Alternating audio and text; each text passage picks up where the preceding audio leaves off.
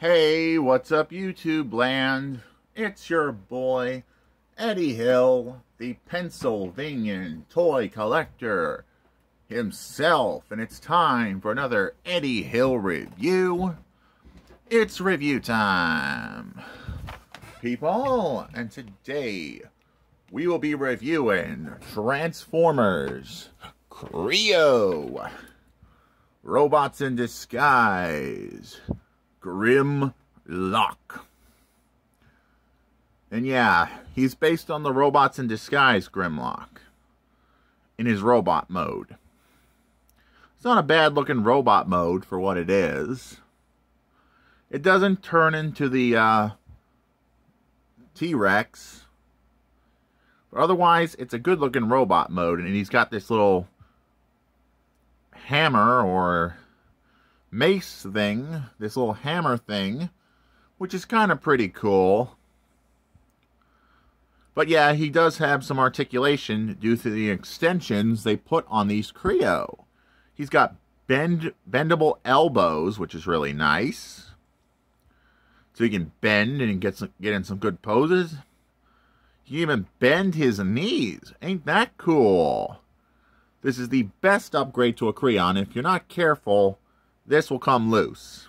On my copy of this figure, it's very loose, so you got to be very careful when bending his knee. You can totally bend his knee and be like, me Grimlock gonna smash Decepticons. Because me Grimlock does what me Grimlock feel like. I'm probably gonna display him like this. But now, for comparison, here he is next to Kre-O Transformers Robots in Disguise Bumblebee. And this is the white armor Bumblebee. He's ready to blast Decepticons and take some names. Let's get those Decepticons, Grimlock. Yeah, I agree on that, Bumblebee. Let's smash them. But now we're going to look at the packaging, since those figures were pretty simple. And these Kre-O Transformers figures have some nice artwork on the box.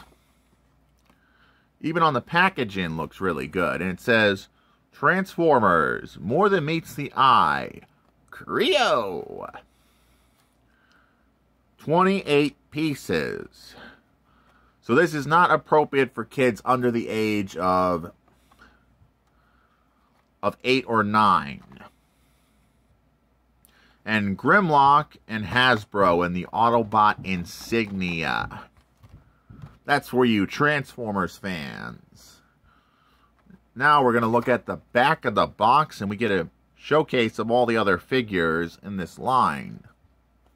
I don't have Optimus or uh, Sideswipe or this Bumblebee, but I'm happy with the figures I got. And that's good by my standards. That's all there is to say for the packaging. And yeah, I've always loved Kre-O Transformers. They're so adorable and cute. And they're worth adding to your shelf and your collection as little display pieces, man. They're just bundles of adorableness. And they will always have a place in my Transformers collection. Maybe by next year, I'm going to show off my Transformers collection and then my Star Wars collection.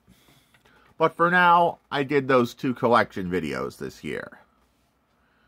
And if you would do me the favor of subscribing to this channel, I would appreciate the support for Eddie Hill's reviews because we're always looking for support with subscribers. Also, leave me a nice comment or two if you want to. I would appreciate it. And that's all there is to say for this video. And this is Eddie Hill, the Pennsylvanian toy collector, moving on and rock on and rock out.